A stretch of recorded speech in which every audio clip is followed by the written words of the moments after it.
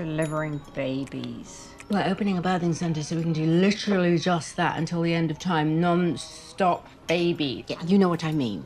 Do it our way. Total control. Birthing centre. Lab. Well, now, lab. Fucking yes. The lab is the fucking thing.